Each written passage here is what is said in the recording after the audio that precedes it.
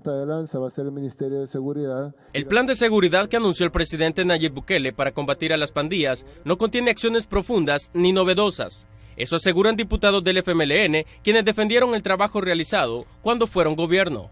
Y yo no conozco planes, conozco la mención de algunas acciones que es lo que se está diciendo y, acciones que no son nada novedoso para nosotros porque se han venido implementando por el, gobierno del FMLN en el sentido incluso que allá ya han habido efectos este, eh, positivos. Partidos como Arena y Cambio Democrático fueron más optimistas y sus diputados están dispuestos a apoyar al gobierno.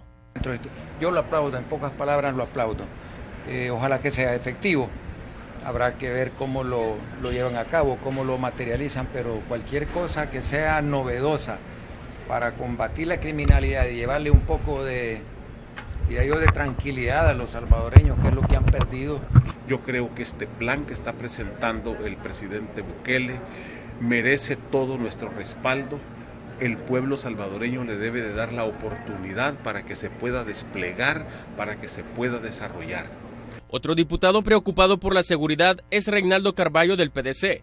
El parlamentario pidió a la Asamblea Legislativa que sugiera al presidente Nayib Bukele que ordene el cierre de dos centros penales ubicados en San Miguel. Estamos solicitando un desalojo total de los dos centros penales y las instalaciones del centro penal de San Miguel, convertirlo en una escuela de música, de arte y cultura una de las acciones urgentes del Ejecutivo es mejorar el clima de seguridad. Noticiero Sucesos es gracias a... Eres capaz de lograr todo lo que te propongas.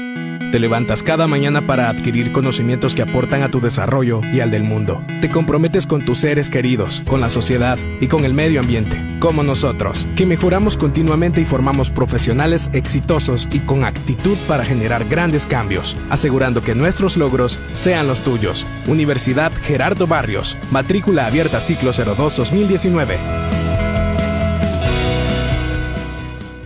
¿Quieres aumentar tus ventas y llegar a más clientes? Prepárate para hacer crecer tu negocio. Anúnciate con nosotros. Tenemos un plan de publicidad que se adapta al tamaño de tu empresa. Recuerda que sin publicidad no existes. Con publicidad aumentan tus ventas, llegas a más clientes y tu empresa crece más, ganando más ingresos. Llámanos ahora al teléfono